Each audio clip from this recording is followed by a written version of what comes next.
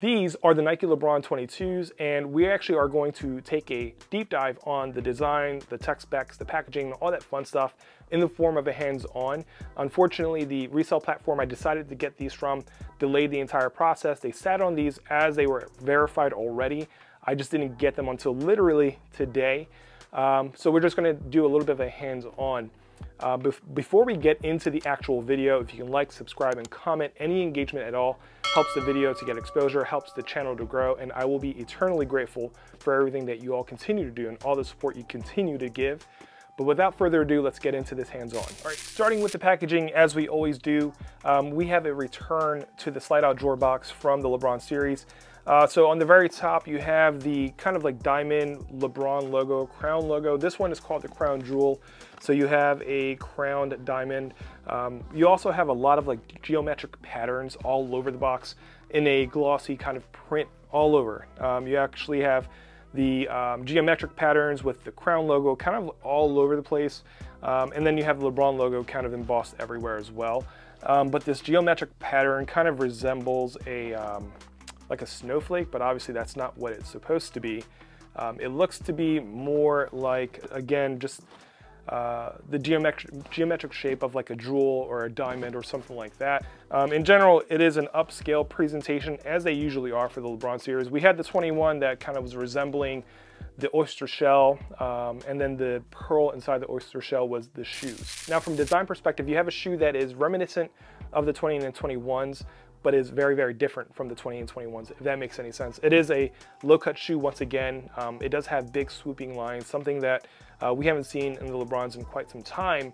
We saw LeBrons that in the past that were just big and bulky shoes. Now um, they kind of stripped away all of that, especially with the 20, um, and they've added on those things little by little with every in, uh, iteration. So the 22 features this gigantic uh, lateral side swoosh. Um, this is integrated into the upper, so you have this lateral side swoosh with like piping, like a neon green piping um, that is actually flowing to the other side, to the medial side, but you also have the stitching, which is like an embellishment of the LeBron signature on the heel counter area. Uh, but overall, I think it is a nice looking, a nice touch. I think the design itself will definitely be um, very divisive. I think uh, if you are a minimalist type of person, you like minimalist design, this is not going to be it. But from a design perspective, for me personally, I do really like this design. I do like what they did with this shoe. Uh, but again, you have this gigantic lateral side swoosh that's integrated into the upper that goes all the way around to the medial side. You have this foot saddle that is intended for obviously uh, containment for the foot, keeps your foot in place, but then you have this jewel swoosh um, that is built into there. You do have some stitching that looks, I mean, legit stitching that kind of keeps the shoe stitched onto the actual upper of the shoe. Um, you do have a nice size outrigger on the forefoot area. I'll try to get that in some B-roll, but you have this outrigger on the forefoot area that's obviously intended for foot containment and things like that, lateral containment um, and stability and all that fun stuff. Moving over to the medial side, you have again that double line head um, that you saw on the box as well, but it is, uh, I'm not really sure what that's intended to mean, um, other than the fact that, uh, you know, it's King James and the line has kind of been the uh, his go-to.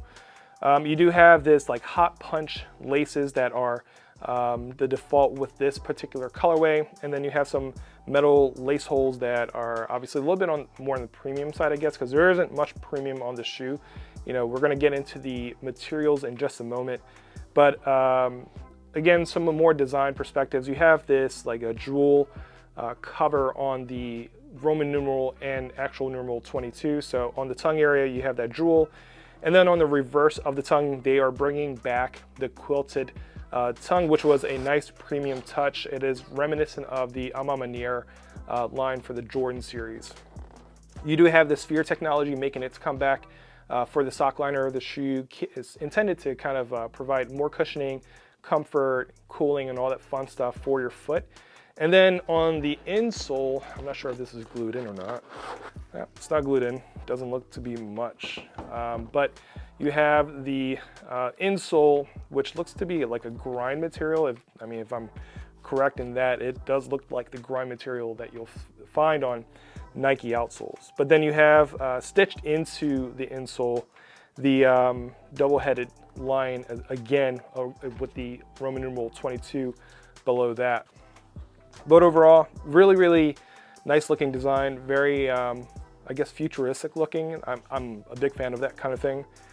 Um, and then one last little thing is you have the little mini swoosh on the medial side toe box. And then on the outsole, um, you have those geometric patterns. Um, you have tread, you know, tread patterns that kind of go all over the place. So in theory, they should perform very, very well on the court. We'll find out soon enough, but they should, for all intents and purposes, perform very, very well. You have the LeBron Crown logo under the forefoot and under the heel. Um, and then on the heel counter area, heel tab, you have established in 1984, his year of birth, LeBron's. And then on the other shoe, you have um, Akron, Ohio, his place of birth. So overall, very, very clean design, um, in my opinion. I think a lot of people think it's a little bit on the loud side, but overall, I think I am a big fan of this, of this design. Now, in terms of the materials, um, I think we took a little bit of a step down. The LeBron 21 featured premium leather uppers and all that fun stuff, and I was a big fan of that design and those material choices. Some of them came with those iridescent uppers, some came with premium leather uppers, um, but overall it was a premium shoe. It came in at $200 retail US. These are actually coming in retail at $180 US, so obviously uh, they're going to make some compromises in certain places. The box, the packaging experience, they did not compromise, and it is a premium packaging experience.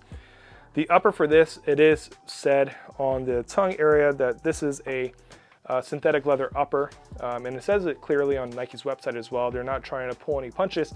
It is a synthetic leather upper, so it does look like perforated leather, but it is synthetic leather. You have a kind of like a microfiber type of material on the tongue. Very, um, very cheap feeling. I am just gonna you know, say it as it is. It feels pretty cheap. It doesn't feel like anything premium. At $180, um, $10 more than the LeBron Next Gen Amped, which is kind of crazy. But overall, I think the material choices are fine. Um, $180, I, I would expect some premium materials. I think a lot of the budget or marketing or whatever went probably to the packaging and then they kind of had to cut corners or maybe or uh, make some compromises in other places. But in general, materials are fine. Um, they do feel relatively light. They don't feel particularly heavy, and I think that's obviously the intent. Now, we can't talk about the materials without talking about how the materials affect the weight. Um, from a materials perspective, we talked about how Nike went with synthetic, uh, a synthetic upper. Nike explicitly says on their website that the Nike LeBron 22 features a synthetic leather upper. So this nice looking perforated upper is all synthetics. But I think that's a twofold kind of thing. One is to reduce price. Obviously, it went from $200 uh, retail US to $180 US. But I think the other part of it is actually weight reduction. If you're going with genuine leathers and things like that, you're probably going to be adding weight as a result. When you go with these synthetic uppers and synthetic leathers, you're probably going to reduce weight quite a bit. So the LeBron 22 comes in weighing in a size 12, 17.2 ounces or 488 grams, which puts it pretty average with a lot of the other shoes I've tested all year long. Um, so it's not obviously the lightest shoe I've tested, it's not the heaviest shoe. Um, when you pull these out of, outside of the packaging, you're noticing immediately how light the shoe is. They actually feel lighter than what they really are. Um, so we'll see how they actually perform on the court, but I think weight shouldn't be an issue and they're pretty well distributed overall. Now, from an initial try-on perspective, they fit pretty well. I think um, just from the initial try-on, you should be able to go true to size. So for me, I went with my true size 12. They fit pretty perfectly. Um, there was no hot spots or anything like that. So getting them on the court, shouldn't have any issues with the fit or anything like that. I don't think I should have any issues with heel slip. Now, one thing I do want to note is that it features the same technology as the LeBron 21 in terms of the collar of the shoe and the sock liner, which is that sphere technology.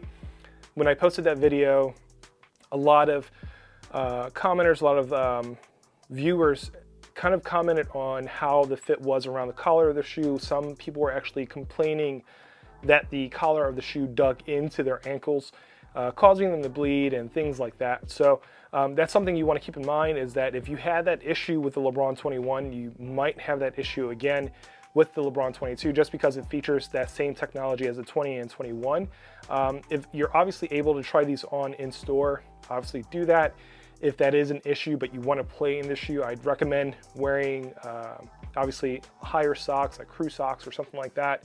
um, or some kind of um, material to kind of keep your ankles protected. Um, but if you had that issue, with the 21s, you're probably gonna have that issue once again with the 22s, but that will just about do it for this video. If there's anything you wanna know about the LeBron uh, 22 from the hands-on perspective, please leave a comment. Um, keep in mind that the performance review should be coming out sometime next week after I put in some work with these shoes and really get an idea of how these shoes perform on the court. Um, but if you liked this video, like it. If you didn't like it, dislike it. But if you really, really liked it, please hit that subscribe button. Thank you all for watching and you have a great day.